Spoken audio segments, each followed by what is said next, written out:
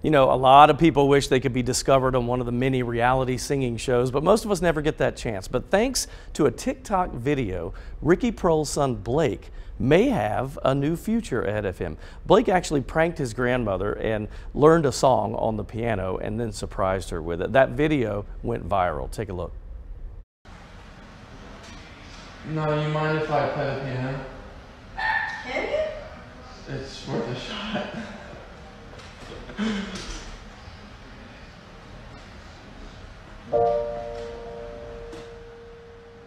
case you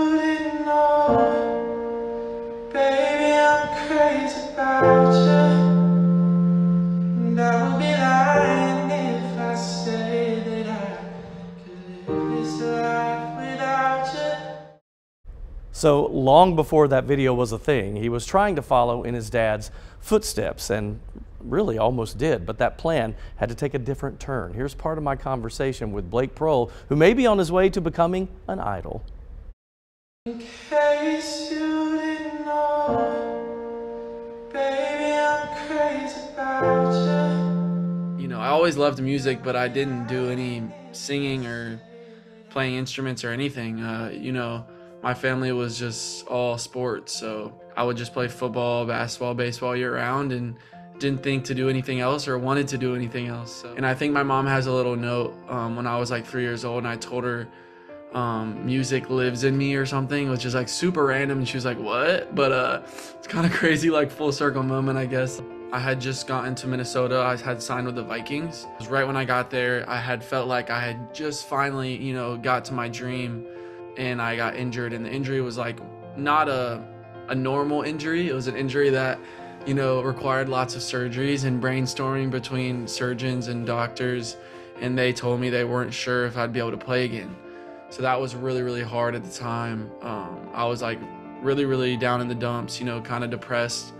And music, like, kind of like saved me. It kind of came out left field. You know, for me, I believe it was God um, and, you know, where his hand is in my life. But I just really just kind of followed it and started like posting for some reason. It was very random. Like it doesn't make any sense. Kind of like started going viral and gained some traction. And uh, here we are about two, two and a half years later.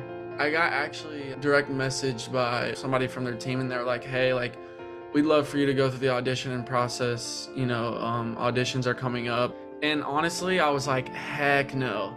Like, I can't even sing in a room like with my family. Like, this is scary. You know what I mean? This is super scary. But I just remember saying, I don't want to miss this opportunity uh, because I'm afraid, because I'm like fearing, you know, failing. And so I said, you know, let's just do it. Screw it. I've watched American Idol since I was younger, and uh, you're always like, I don't know how these people are singing in front of them. Like, this is crazy. Well, I remember walking in that room, Ryan Seacrest opened the door, and I like walk in, I'm like, wow. I mean, you can tell in the audition, I, I started getting like a little choked up because I was like, it all kind of like hit me in that moment. I felt like it wasn't even real until they said that.